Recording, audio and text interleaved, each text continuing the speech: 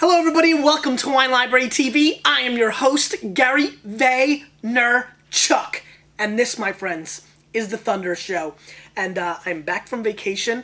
Uh, had a wonderful time, Lizzie and I. Turks and Caicos, Mott. Crazy. The water, the beaches. Um, just an amazing, amazing time. And so it's always nice to kind of like decompress after the insanity of all the TV shows and the book and everything. But uh, while I was away, uh, we re- we uh, received some sad news, and uh, you know, really couldn't wait at some level to get back and pay tribute to a guy who probably has the single. Not you know, let's take probably out, Mont has the single greatest impact on the California wine business, which, by the way, is a $20 billion industry. And uh, one that's only very, very young, actually, only probably about 30, 40 years old. Um, and uh, the modern California wine industry due to prohibition, that lovely thing that happened in this country. Uh, I'm speaking, of course, of Robert Mondavi, who. Um, who sadly on uh, the 16th passed away, but at the age of 94, and I'm going to say it here right now, I'll take it.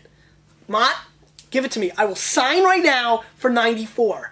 Um, I know we have advances in technology and maybe we'll all be living longer, but I'll still sign for 94. Um, a great man um, who I had the privilege of meeting several different times and who was always extremely kind to me.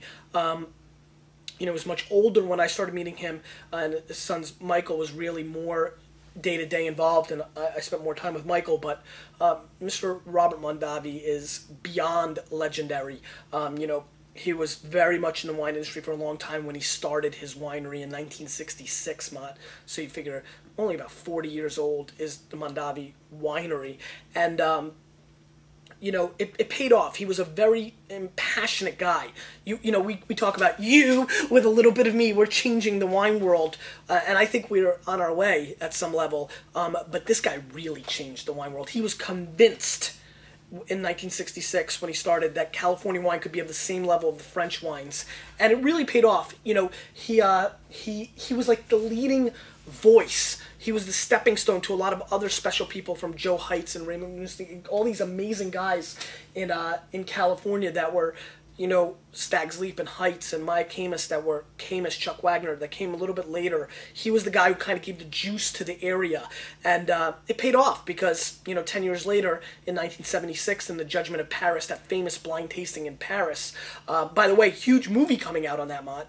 Uh, Bottle Shock coming out this August. We'll be talking more about that in the future. Um, you know, 10 years later, California beat you know, a couple California wines beat French wines in a blind tasting in Paris that pretty much changed the landscape and changed everything for California wines. And so, you know, three years after that, in 79, he created uh, with Baron Philippe Rothschild the Opus One. And the Opus One product was very important because what happened there was a top Mouton Rothschild, a top first growth Bordeaux producer, came to California to make wine with Robert Mondavi in a joint venture, really solidifying, if there was any doubt, of the quality of California. So, in a 13 year span from starting Mondavi to 79, when he had Mouton coming here to make a wine, he really was the guy, the man. And, you know, I just, uh, thought there was no way I could come back and start the Thunder Show this week without doing a Mondavi tribute and episode. Not only was he a pioneer and a genius in marketing and building the business and the brand of Napa Valley, but he was an awfully nice guy and donated a lot of money to charities and, and did a lot of the right things. Um, you know, uh, just a good dude, and you know, and I just want to raise my glass and you know, and say, uh, you know, thank you because obviously, um, you know, a lot of what he accomplished and did uh, impacts my life and, and millions of other people in the wine industry, especially in the U.S. And so, um, what we're doing here today in tribute is the 2005, the current release, Robert Mondavi uh, Cabernet Sauvignon. It's a $17 bottle of wine. Um, which is a very fair price for a Mondavi. Uh, let's give it a sniffy sniff.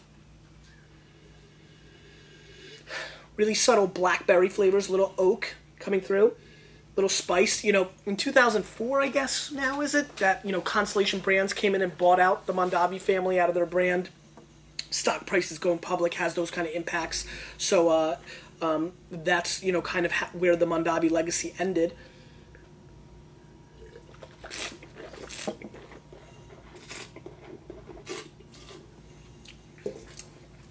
I think it's only fitting that we score this wine 100 points today, Mott.